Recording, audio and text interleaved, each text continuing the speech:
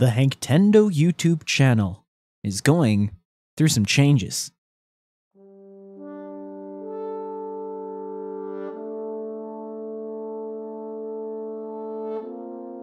The me profile picture that you once knew is now but a blurry image with some weird blobs of green and orange.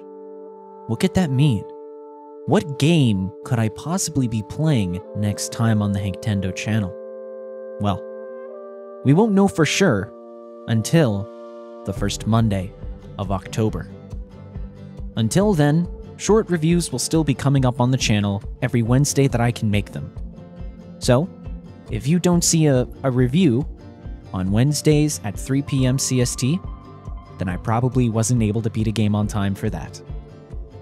But until then, let's tease a little bit about what's going to be happening on the Hanktendo channel this October. For my first hint, let's just say there's a reason we're starting this Let's Play series in an October month. It's a weird way of saying that.